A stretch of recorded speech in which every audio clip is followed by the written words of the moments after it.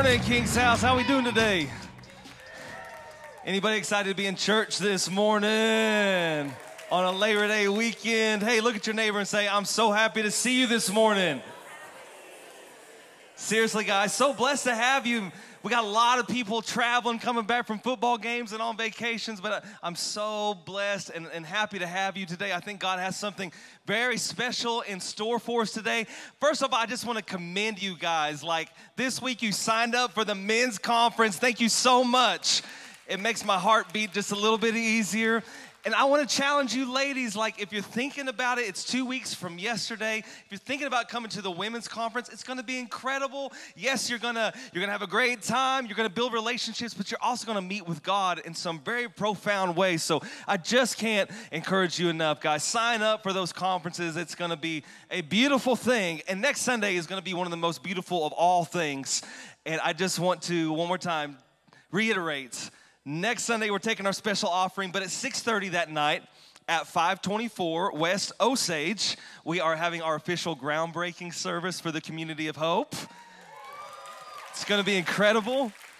It is. It is just gonna be incredible. So I'll send out a video this week with some more details. We're going to park out there. If you don't want to park out there, we'll probably run a, a bus back and forth from here, but we'll, we'll, get all that figured out. But whatever your plans are, just go ahead and scrap those plans because you need to be at the groundbreaking service at 6:30 next week, right?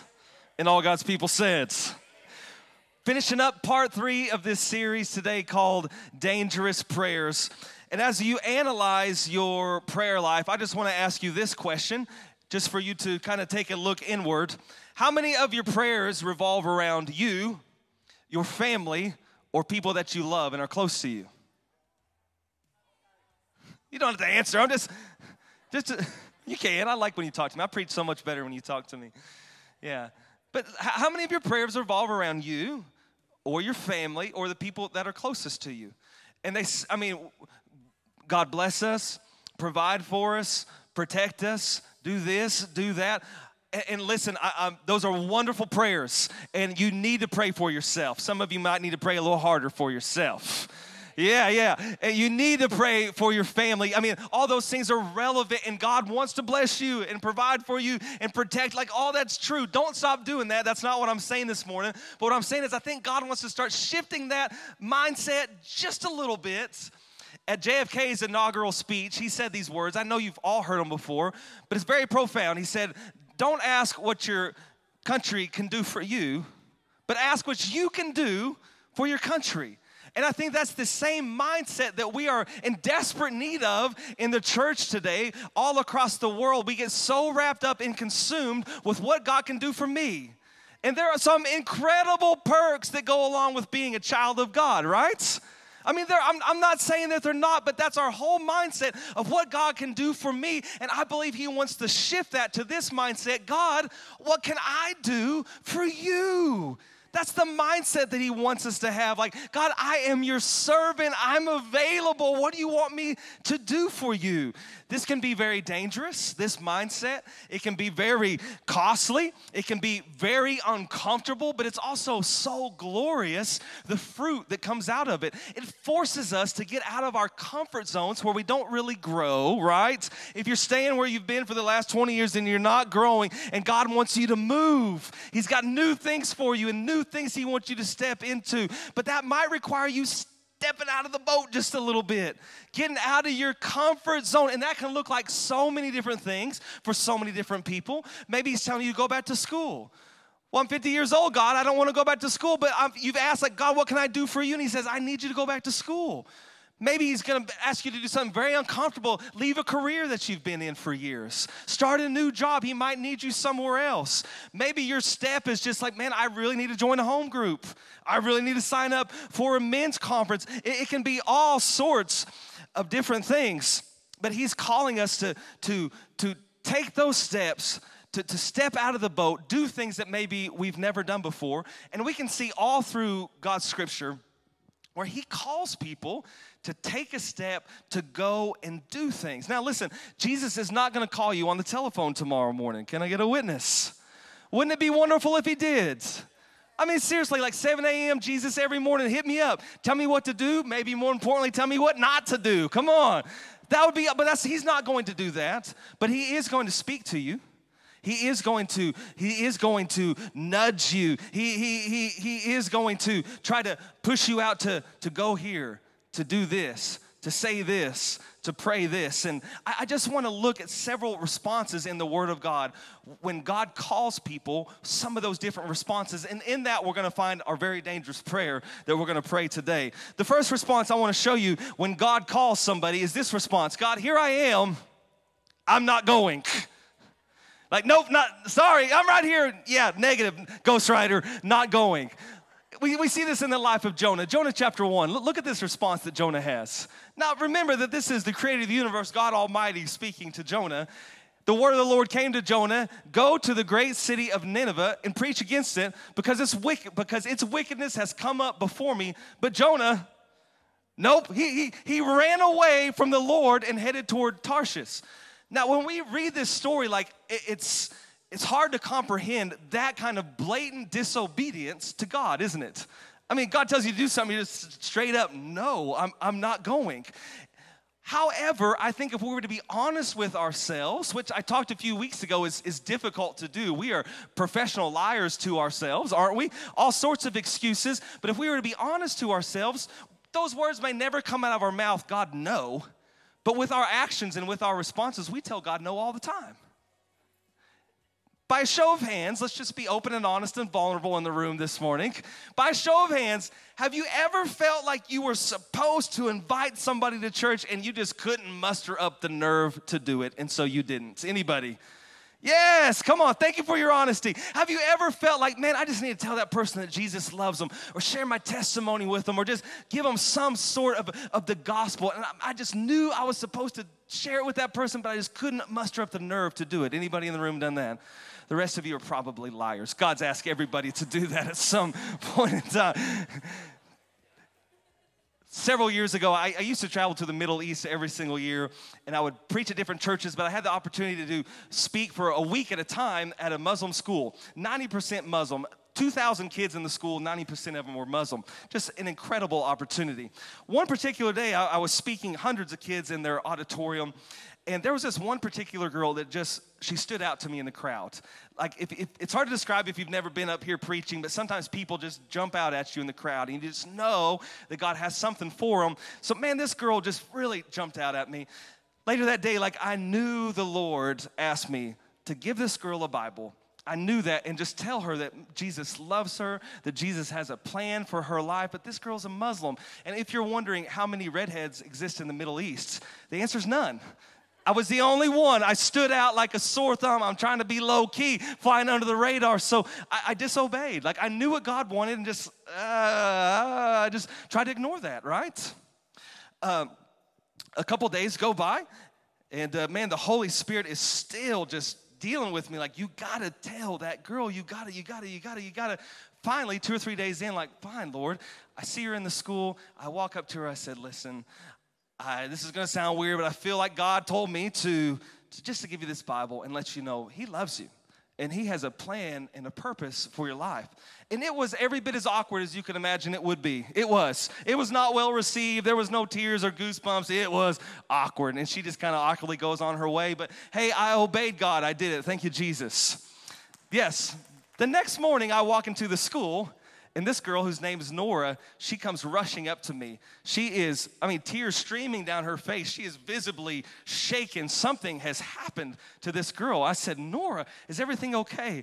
She said, Mark, I took that Bible home and I put it on my nightstand and I didn't even think about it and I went to bed.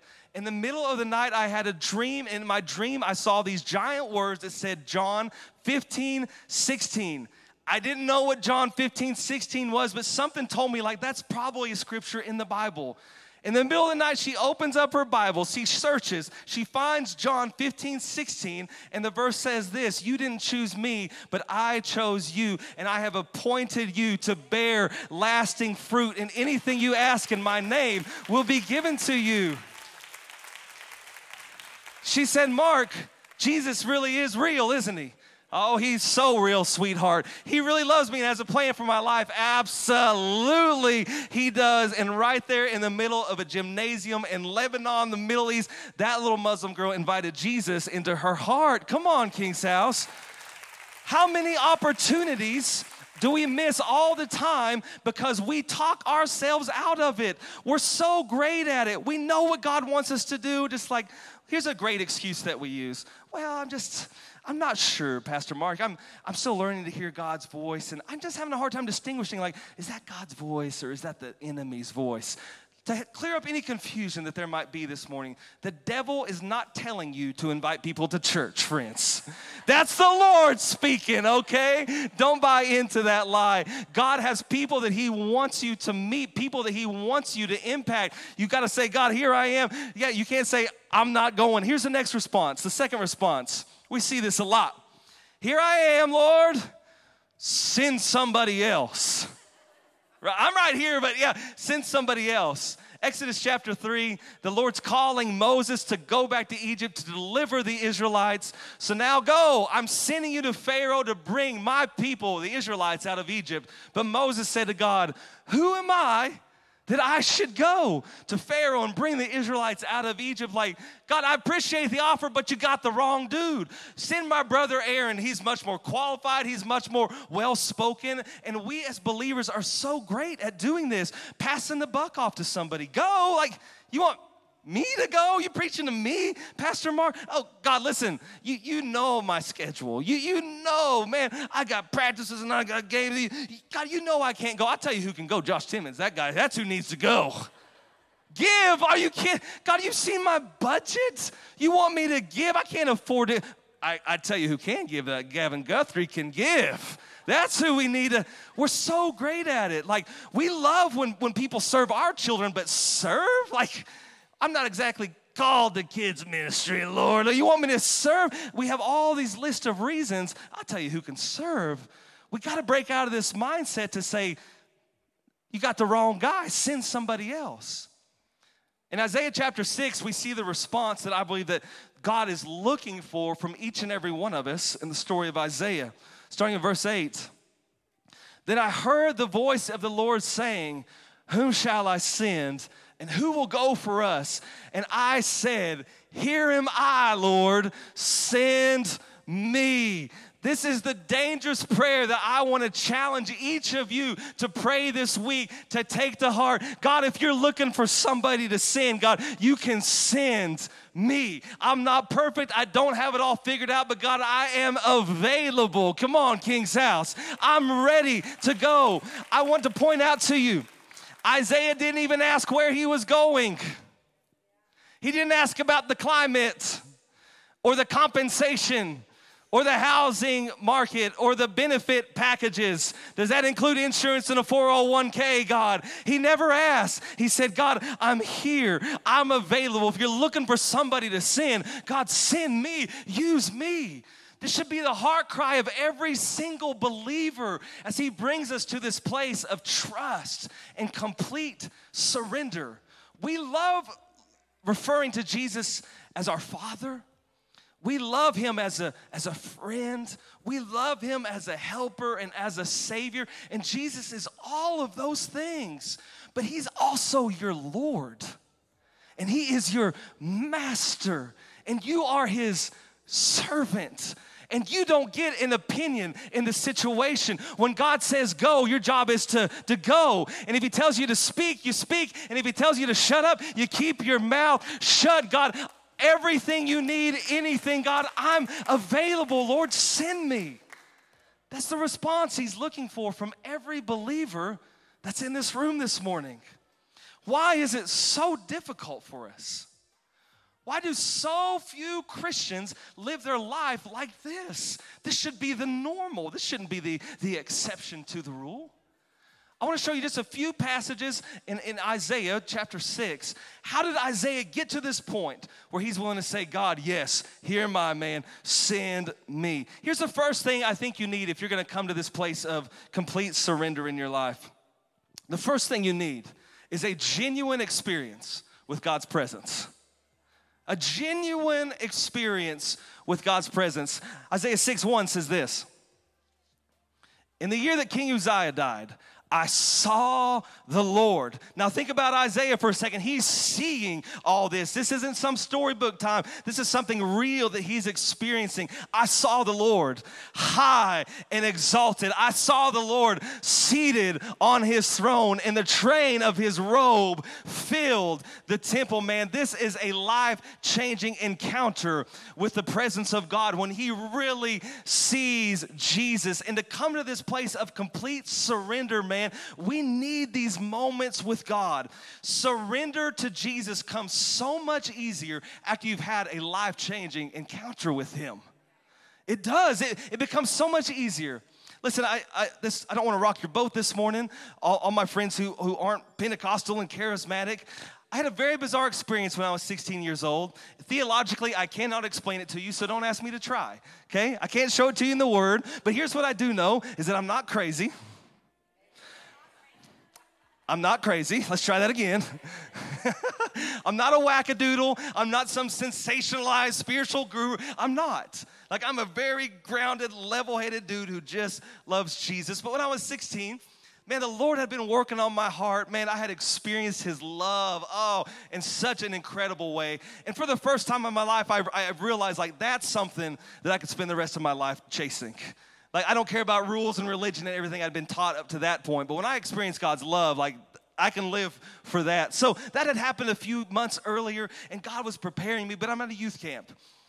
And the, the, sermon was very stereotypical youth camp, like, hey, come to the altar, surrender to God, say yes, give everything to Him. And I went up front, man, just so hungry for God. Like, I want to experience you, Lord. I'm ready to surrender everything. There's a little prayer team down front, and I come down front, and man, I'm just, I'm feeling God's presence, and I'm a, I'm a little weepy, and I'm just, Jesus, I love you, and I'm just, I'm surrendering. God, my life belongs to you.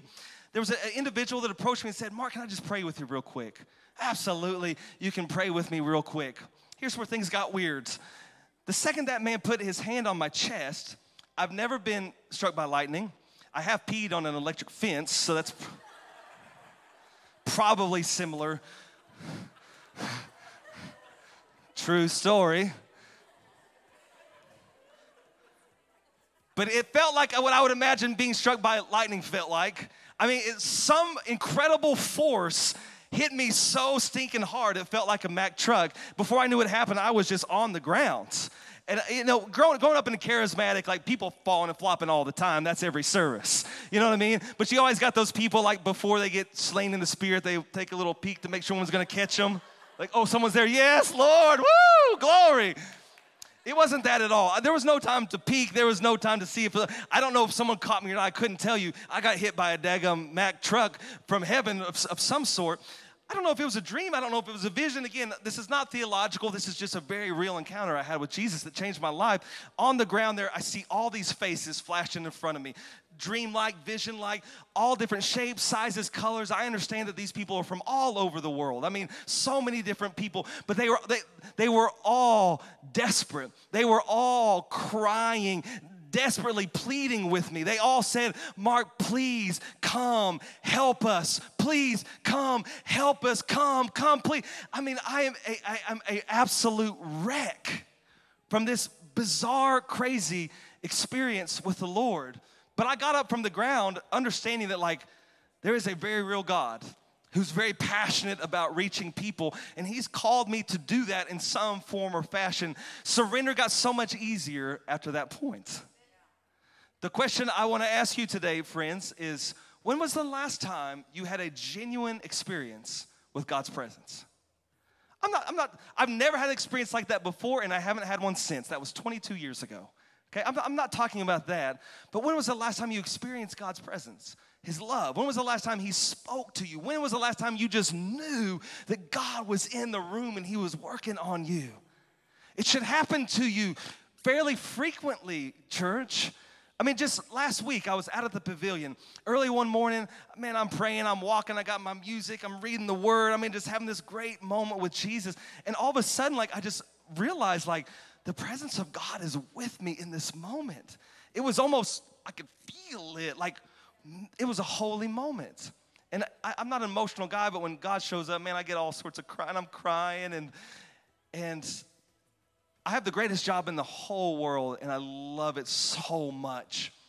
But some days it gets so heavy, and the pressure, and the stress, and the decisions, and the uh, in that moment, like I just feel God just lifting that baggage up off of me, and it was like oh, I could I can breathe. My mind was clear. I could focus like God was in that moment touching me, some of that junk off of me, keeping me healthy, preparing me for what He has me to do, right? I mean, a few minutes later, Josh Timmons pulls up over by the garage door. If you haven't seen his fancy garage door, you need to check it out, man. The youth room is popping right now. 100 kids in youth this Wednesday night. Come on, somebody. Incredible. And I'm over there having a little Jesus moment and I'm crying and Josh pulls up and then I'm crying even more and I'm just, God, I'm so thankful for Josh and I'm so thankful for what you're doing in the youth group. like, man, if I'm crying thanking God for Josh Timmons, you got to know that Jesus is involved, right? That's not my natural response, church. But he wants to meet with you. He wants you to encounter his presence and his love. He wants to speak to you. He wants to have a relationship with you. He wants that.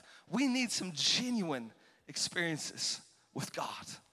The second thing we need is a genuine awareness of your sinfulness. A genuine awareness of your sinfulness. Now, listen, Isaiah chapter 6, verse 5.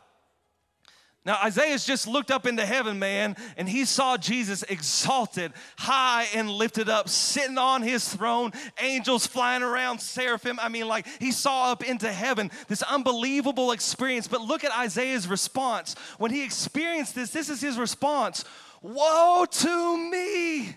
I cried, I am ruined, for I am a man of unclean lips and I live among a people of unclean lips, and my eyes have seen the King, the Lord Almighty. Friends, this is the only response to have when you really encounter Jesus. One of the biggest lies our society would love us to buy into today is that you're relatively good. You're pretty relatively good. No, you're not. Your heart is deceitfully wicked. You were born a sinner. Your motives are impure. You are not good. You are a sinner in desperate need of a Savior. And when you behold Jesus in His beauty and in His majesty, that is the only response God, woe is me. I am a sinner. I am undone. I'm ruined. We got to know that when we see him for who he is, we see ourselves for who we are. We are in desperate need of Jesus. It's interesting if you look through scripture, almost every time that an angel shows up, that a pre incarnate Christ shows up, their first words are, Fear not. Why are they gonna be saying, Fear not? Because the people they just showed up to are freaking scared. That's why you gotta say, Fear not. That's the only appropriate response. So when you see Jesus for who he is, I am a sinner. I am aware of how sinful I am. And the third thing we have to have to come to this place of complete surrender is a genuine understanding of God's grace. Isaiah 6, verse 6, he just cried out, I'm, I'm woe is me, I'm ruined, I'm unclean, I have unclean lips, I'm from people with unclean lips. Then one of the seraphim flew to me with a live coal in his hand, which he had taken with tongs from the altar. With it, he touched my mouth and said, See, this has touched your lips. Your guilt is taken away and your sin atoned for. This should speak to every single believer in this room. The incredible reality that a lifetime full of sin a lifetime full of selfishness, a lifetime full of mistakes and bad decisions. When you say yes to Jesus, when you invite Him in to your situation, one encounter with Jesus can change everything about your life this morning, church. And one incredible, gracious swipe, man, your sins are forgiven, your guilt is removed, and your past is washed away. Are you kidding me? He's incredible. When you genuinely experience Him, you recognize His greatness, His majesty, His beauty. In that moment, you are overwhelmed with the reality of your sins, of your frailty, of your weakness. We will never be able to comprehend it totally, but it's in those moments that we can see that, yes, a God so great can absolutely love someone like me, which is uncomprehendable. He has this amazing way of taking all of our hurts, our pain, our guilt and our shame that He already paid for. And the great exchange, the most unfair event that has ever happened in humanity, is He takes all that pain and that guilt and that shame and He exchanges it for life and life more abundantly and love and joy and peace and fulfillment and satisfaction. Seriously, church, what other rational response is there to this kind of reckless love than for us to throw up our hands and say, Jesus, everything that I have belongs to you. I'm completely yours and completely available. God, if you're looking for somebody to send, look no further, sir. Send me. It's a response he's looking for from every believer in this church. Send me. What else can you say? He saved you. He redeemed you. He gave you a future, a hope. He washed away your past. He promised you eternal inheritance. What else can you say? Send me. I'm yours, man. I have a dear friend. His name's Levi. One of my youth kids years ago. Now he's just a very dear friend.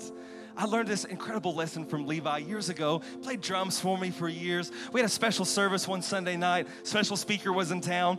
At the end of the service, they put the offering plates on the stage, and we're just taking a special offering to, to bless the special speaker. Levi was a newlywed. I mean, three or four months into marriage. He's broke like a joke. Come on, somebody. You, you remember those newlywed days? The dude had $10 left to his name, and his car was on empty. And he lived 30 minutes from the church down all sorts of windy dirt roads. He's gonna put that $10 and that's how he's gonna get home, right? The Lord speaks to him, he says, Go put that $10 in the offering plate. His response is much like no, uh, like Jonah, straight up, nope. That's my last $10, Lord. I'm not.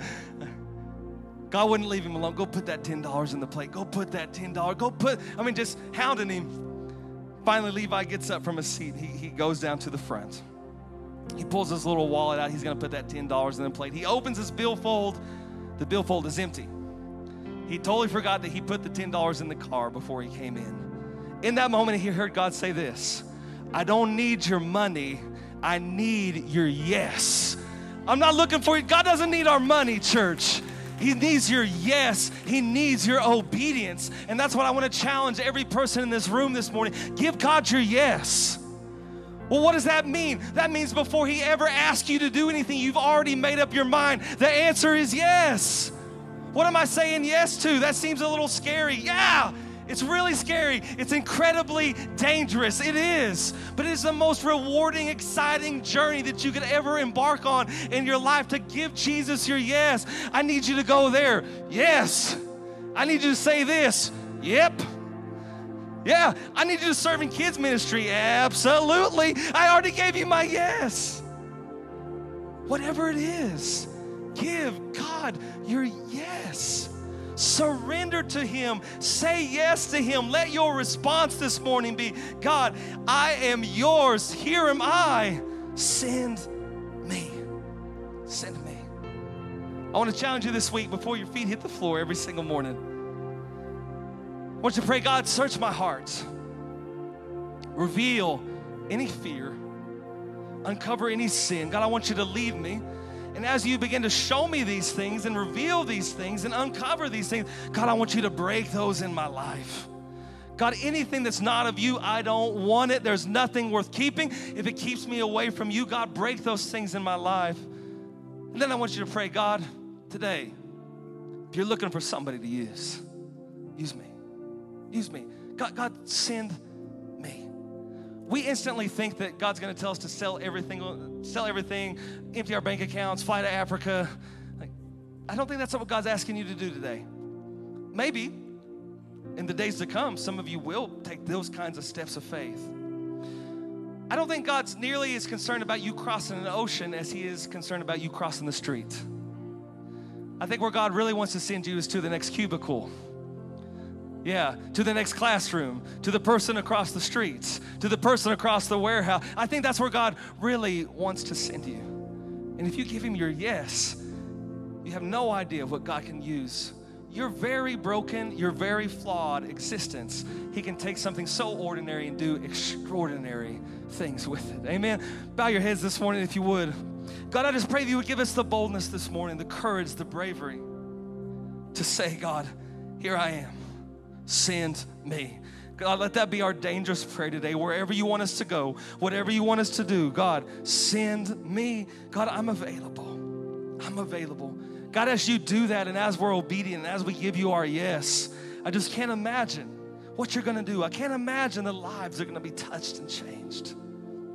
Before we close today, I want to ask you this question. We're, we're talking about giving our yeses to, to be obedient and surrender, but maybe you're here this morning and you've never even given that initial yes to Jesus. I need you to be my Savior. Jesus, I need you to come live inside of me. Jesus, I need to surrender this life to you so you can wash away this sin, so you can wash away these mistakes, so you can give me a future and a hope. And I just want to ask if there's anybody here this morning no one's gonna embarrass you or call you down or do anything weird, I promise. But if you're here this morning, you would say, Pastor Mark, I don't know that I have Jesus living in my heart. I don't know that I, that I am where I need to be with the Lord. If my life was to end today, I really don't know where I would spend eternity. But, Pastor Mark, today I want to say yes to Jesus. I want to ask Him to be my Lord and my Savior. With nobody looking around right now, would you just lift your hand if that's you? I, I want to say yes to Jesus. I see those hands and those hands and those hands. Come on, somebody else. I, I want to say yes to Jesus. Praise God. Hands going up all over the room this morning. King's House, would you just grab the hand of the person next to you? I don't want anybody praying alone. Listen, if this is your first time praying this prayer, it's not a magic prayer but it is your heart saying yes to Jesus. The Bible says that if you confess with your mouth that Jesus is Lord, if you believe in your heart that God raised him from the dead, you will be saved. That's the incredible promise we have. So, all across this room, just repeat this prayer with me. Say, Lord Jesus, come into my heart, forgive me of my sins.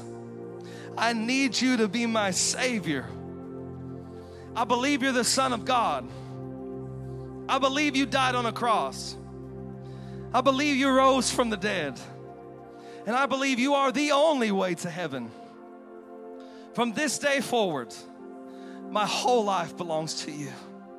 In Jesus' name, everybody said. Can we give God some praise this morning, church? God is so good. Hey, Lee, will you put that slide up there for me? I think it's still on there. It's all blue.